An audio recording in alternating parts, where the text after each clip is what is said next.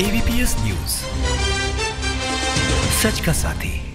हरैया सतगरवा बलरामपुर सामुदायिक स्वास्थ्य केंद्र शिवपुरा द्वारा कोटरी ग्राम सभा के पूर्व माध्यमिक विद्यालय में स्वास्थ्य शिविर का आयोजन किया गया, जिसमें सामुदायिक स्वास्थ्य केंद्र शिवपुरा के डॉक्टर तथा कर्मियों द्वारा अलग अलग काउंटर लगाकर मरीजों की जाँच व इलाज करने के साथ साथ उन्हें स्वास्थ्य संबंधी सलाह, जैसे गर्भवती महिला व बच्चों का नियमित टीकाकरण, किशोर सुरक्षा योजना, कुष्ठ रोग, क्षय रोग, परिवार नियोजन की सलाह भी दी गई तथा प्रधानमंत्री मातृत्व बंधन योजना, जिसमें लाभार्थी के पहले बच्चे पर पाँच हज़ार रूपए की योजना का पंजीकरण किया गया। व लाभ पात्रों को प्रधानमंत्री आयुष्मान योजना के तहत 1350 असाध्य बीमारियों के इलाज हेतु पाँच लाख तक बीमा योजना की भी सलाह दी गई, जिसमें पहुँचे मुख्य अतिथि श्रावस्ती सांसद दत्तन मिश्र, विधानसभा तुलसीपुर के मौजूदा विधायक कैलाश नाथ शुक्ल, जहाँ डॉक्टर प्रणब पांडे, अधीक्षक सी एस सी शिवपुरा के इस स्वास्थ्य शिविर का सदन दत्तन मिश्र द्वारा फीता काटकर शुभ आरंभ किया, तथा प्रत्येक काउंटर का जायजा लेते हुए मंचासीन हुए और भाजपा की कई योजनाओं के बारे में चर्चा करते हुए लाभ पहुँचाने की बात कही।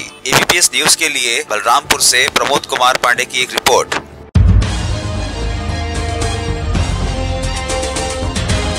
एबीपीएस न्यूज़ सच का साथी।